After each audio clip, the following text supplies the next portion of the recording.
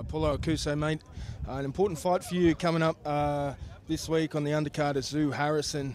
I guess how you feeling heading into this fight? Nah, I feel good, man. Um, you know, I've been training hard. Um, the camp's coming well. Uh, got one more week, and yeah, just ready to shine. An experienced opponent. Uh, he's been in there with some uh, big names. Um, does that faze you at all? Uh, you know, not really. You know, um, you know, he has a lot of experience in the ring. Um, you know, in the world stage, uh, world championships and stuff like that. But you know, um, I feel like uh, my belief, my belief in myself is is more dangerous than that. So you know, we'll see come uh, March 12. And I suppose the downside of um, uh, the victories you've had is they've been quite short, um, and you don't get to sort of be in the ring uh, very long. Um, how have you sort of um, learnt from your fights that you've had so far, given that they've been so short? I learned a lot from a lot of fights. Um, you know, um, my past three fights that I've had in the pros, um, you know, like all come short stoppages, but uh, that's that's part of the game.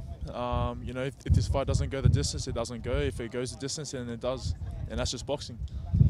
And I guess what's the what's the plan for you in 2023? How how often do you, do you want to get in the ring, and, and how many fights do you want to have this year?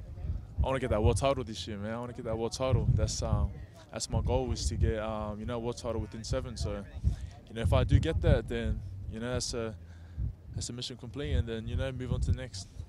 And how's it feel to be on, on this card? It's a massive card, uh, a lot of build up to this fight. Uh, how's that feel? I feel blessed, man. Straight up blessed. Uh, I'm grateful to be part of it. You know, in front of a big crowd. So I just can't wait to get out there. And uh, Tim Tszyu, Tony Harrison's the main event. Uh, what are your thoughts on that fight? Hey man, Timmy, bring it home, baby. Bring it home.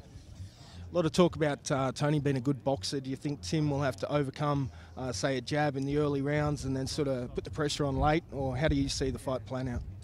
Well, I see the fight, um, you know, going um, Harrison. Harrison just just boxing his way out, but um, I feel like Tim just got the power to take him out. So if it happens, it comes.